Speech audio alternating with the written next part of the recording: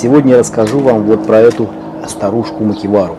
И вообще речь пойдет о том, как может долго прослужить Макивара э, ТМБШ э, при э, эксплуатации ее в самых разных условиях. Вот эта вот Макивара висела на улице, не снимаясь со столба на протяжении фиговой тучи лет, около 6 лет, закреплена вот этими ремнями. И только вчера буквально эти ремни порвались от дождя, солнца и так далее. И вот я решил Макивару снять и показать, что с ней произошло за это время. Но сначала давайте, для того, чтобы сам сравнение нормально произвести, я принесу макевару новую. Сейчас мы дойдем, посмотрим, как это выглядит. А я пока по ходу покажу. Вот здесь она висела, на этом сам столбе. Вот, когда я езжу куда-то сам снимать за границу или куда-то там еще, я беру всегда с собой какую-то новую макевару. Вы на съемках видите всегда макевару новую, красивую. Хотя я никогда не выбираю. Я прихожу точно как и сейчас. Захожу либо на склад, либо вот у меня в гараже. Сейчас есть несколько штук. Вот они лежат, платформы, макевары, камертоны и так далее. И беру вот так вот, в принципе, любую макевару. Вот так вот. Взял и все, я даже не знаю, какая она. Итак, что это за макевара? Это одна из самых первых макевар МБШ, которая была выпущена вообще. Это самая первая серия, то есть э, самая первая модель на этой макеваре. Даже нету серийного номера вообще. То есть это макевара чуть ли не прототип из самых-самых первых партий. Вот, и для того, чтобы протестировать, эта макевара была повешена значит, э, у меня во дворе, и висела она э, и днем, и днем, и ночью, и в дождь, и в слякоть, и зимой, и летом всегда, не снимаясь вообще со столба, который вы видели, на протяжении шести практически лет. Э, ничего на ней не заменялось, ни одна деталь, ни резина, ни боек, ни отбойник, ничего. И из-за этого, из-за того, что она вот таким вот образом вот эксплуатировалась, нещадно, тренировался на нее вообще постоянно. А, что с ней вообще произошло за 6 лет? Вот смотрите. Ну, во-первых, есть трещина на байке. Вот она, вдоль идет. А, но она только по этой поверхности. С внутренней со стороны ее нет. Здесь ничего нет. Да если бы даже было, то на работоспособность на макеваре это не влияет абсолютно никак. В основании тоже, видите, у нее появились там трещины, оно разбухло. Кое-где появились тоже самые трещинки. Но ничего не случилось. Это дело в том, что оно намокало, вода замерзала, потом опять растаивала и опять замерзала. В основном сам страдает это все ну, весной. И вот поэтому она приобрела такой вот вид. Резина потрескалась. Почему? Потому что на солнце. Но если вы макевару забираете домой, то есть выносите только на тренировки, занимаетесь, потом забираете домой, вид у нее сохранится всегда шикарный. Эта макевара не была покрыта никаким совершенно покрытием. То есть первые макевары не покрывались ничем. Сейчас, которые выпускаются макевары новые, они покрыты э, специальной водонепроницаемой не краской, а мастикой, э, которая значит, э, сохраняет дерево. Она восковидной такой э, консистенции макевара сохранится долго. И только вот два года назад я покрасил эту макевару и стационарную, которая у меня стоит вообще немыслимое количество лет на улице, э, пинотексом. Вот это единственное, что было сделано. То есть это было сделано позапрошлым летом. Не прошлым, а позапрошлым летом это было сделано. Вот все, что произошло. И она сохранилась. И сегодня я проведу тренировку на ней. Уж коль скоро со столба я ее снял, потому что значит, оборвались вот эти ремни. Они просто выгорели на солнце. Ну и разумеется, так как это а, они э, из полимера делаются, да, то есть там какой-то лавсан, еще что-то, то э, солнечный свет, то есть ультрафиолет это дело разрушает. И в итоге вот э, они оборвались. И коль скоро они оборвались, я сегодня беру, эту, э, беру эту макевару МБШ с собой на тренировку и проведу тренировку на ней. Заодно еще посмотрите, как выглядит одна из моих тренировок на улице. А вот теперь посмотрим, как выглядит макевар новый, самый последний серии. Вот это совершенно нулевый макевар с производства. Вообще, как говорится, на ней еще муха не сидела. На ней нет еще наклеек никаких. Ничего на ней нету. Вот. Нет печати. Абсолютно новенькая. Вот так она выглядит. Такого она богатого красивого цвета. это из-за мастики. А, как раз она так и выглядит. Вот. Здесь уже есть серийный номер. Вот. Но нет еще наклеек. Так. Ну все, я на уже другой конструкции. Сзади полозья есть. Вот на этой сзади полозьев никаких нет. Здесь уже сзади полозья.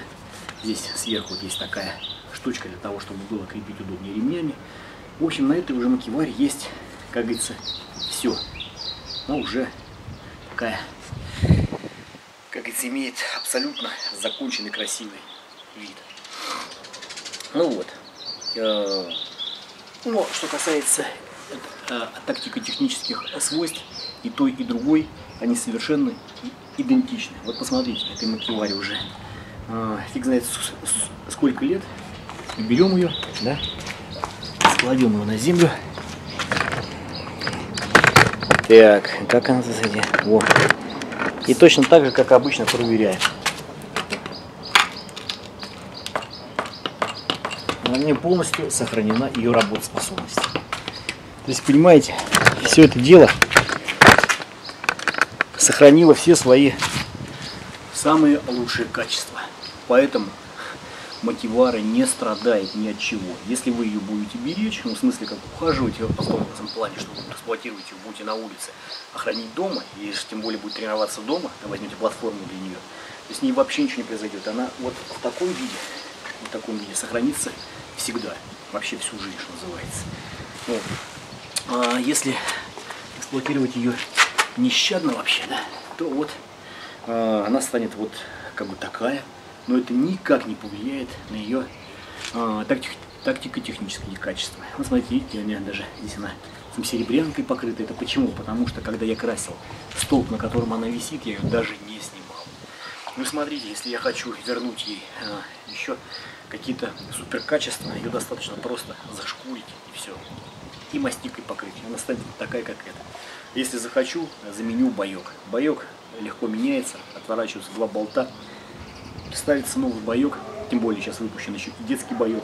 Так что есть у кого старые макевары, кто работает на них, спокойно приобретайте новый боек э, детский, если у вас есть дети, и начинайте тренировать их на макеваре. Детский боек, он там упругость у него намного выше, сопротивление меньше, можно будет просто пахать. Ну вот, все, что я хотел сказать об этом. А теперь смотрите, как будет дело выглядеть дальше. Тут берется вот такая сумка, такая специальная сумка для макевары МБШ, в которой я ее переношу для того, чтобы ходить на тренировку. Здесь сумки, есть у нее карманы. В этом кармане у меня будет камера лежать. В этом кармане у меня лежит тренинг маск сейчас, а, потому что я буду заниматься в ней. И лежит комплект ремней, которым я буду э, значит, макевару э, крепить э, к дереву. Кстати, кого есть вот такие старые ремни, которые там вот, оборвались элементарно, да, просто заменяйте сами ремни, рэчеты, с ними ничего не случится, я это все заменю, и будет все равно работать, как работало раньше. И антивар еще прослужит мне фиговую тучу лет. Можете специально ради такого припинта, ради прикола, запишу на ней еще несколько видосов. Макевар должна иметь рабочий вид, как и кимоно. Хотите, нет, она может и рабочий вид иметь, и шикарный, красивый, а может иметь рабочий вид, как рабочий, как пояс у кимоно у старого мастера, потертый такой, все говорит о том, что она действительно работает. Ну и вот, вот специальная сумка для макевара. Кстати, в нее э, залезают все макевары, все самых первых, которые были, она самая маленькая по размеру, эти залезают, и залезают макевары, которые были э, раньше, у которых есть э, значит, выступы и спереди, и сзади. Она готова. Макевара закреплена, и можно спокойно идти на тренировку. Ну что, погнали. Ну что, вот, собственно говоря, я на месте. Что такое место? Да любое место в парке. Каждый раз это будет новое. Главное вот, дерево, любимое мое дерево, сосна, ну в данном случае это будет не сосна, в данном случае это будет ель. Какая разница? Будем приступать. Сейчас закрепим макевару вперед.